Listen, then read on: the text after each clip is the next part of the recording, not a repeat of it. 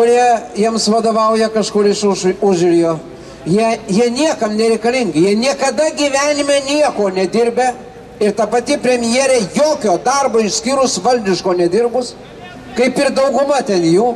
Ir jie išėję, kaip aš sakau, į laisvę, jie žūtų tą pačią sekundę, nes jie nieko nemoka. Čia yra nemokšų gauja. Kviečiu prie mikrofono Lietuvos šeimų sąjūdžio atstovą, e, visuomenininką, žurnalistą, rašytoją Algimantą Rusteiką.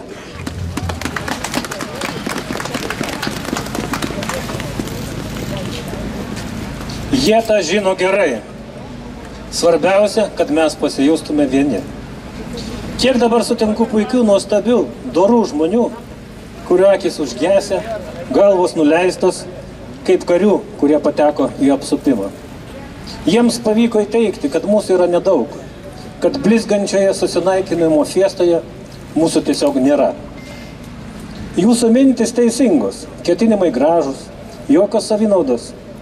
Galėtumėte net širdis parodyti, jie kam būtų įdomu, bet juk neįdomu. Argi jūs vieniši, bet jūsų juk niekur nėra. Vienu kitų negirdit, nematot, nes niekas jūsų negirdi ir nemato. Nes jūsų niekur nerodo ir niekas neskaito. Mūsų daug, bet esam vieni, apsupti ir išduoti. Ar mes susitaikėm? Ar namo niekada nebegrįšim? Ar mylim savo vienatvės? Ar tai viskas, kas mums liko ir mes pralaimėjom? Viskas yra atvirkščiai. Apsupti mūsų yra jie. Tai mūsų yra daug, o jų mažai. Jie pralaimėjo, tik dar nei jie, nei mes to nesipratom. Nebijokite. Juk pamenat, kokios buvo šaltos sausio naktis ir kaip kvepėjo laužai ir arbata ir kaip liepsnos mirguliavo akise ir visi buvom kaip broliai. Ir ar kaip pavargę akmenimis užmigdavom sugrįžę iš būdėjimų, ar buvom, ar buvom tada, kai visi kaip vienas.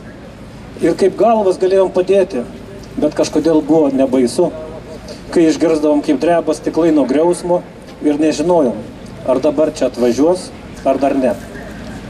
Ar pagalvojom, kad tokiais galim nebebūti. Dėl laisvės negalima dėrėtis. Laisvė arba yra, arba nėra. Ir jokia nauda jos negali nupirkti ar parduoti.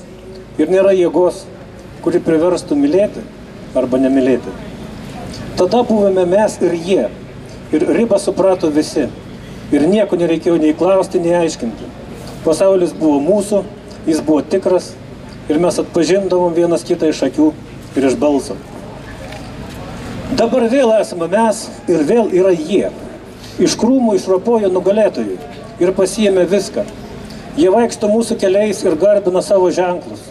Matėte juos, jų akis tuščias, kiekvieną minutę galvoja, kaip čia nenusipiginus, kaip brangiau save pardavus, kad tik viską apmokėtų. Šešėlė ilgėja ir viskas sugrįžta. Dabar vėl yra pradžia.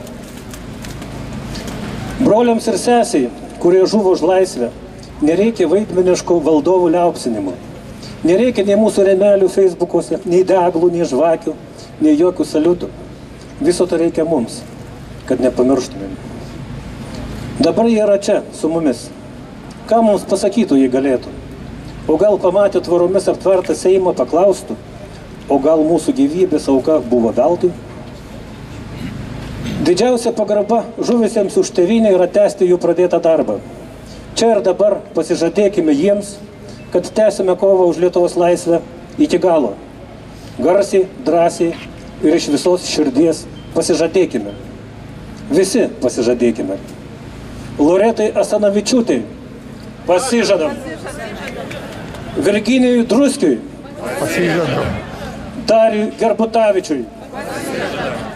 Rolandui Jankauskui. Rimantui Juknevičiui.